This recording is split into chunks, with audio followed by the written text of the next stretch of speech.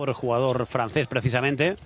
Y el marcador que se queda clavado en este 46 a, 32. De hecho, el parcial, bueno. Oh, canastón. Canastón tremendo de Fran Guerra. Iba a decir que el parcial es de 3-2, pero ahora con este canastón de Fran Guerra. no puede entrar ese pase ahí de, de Fitipaldo.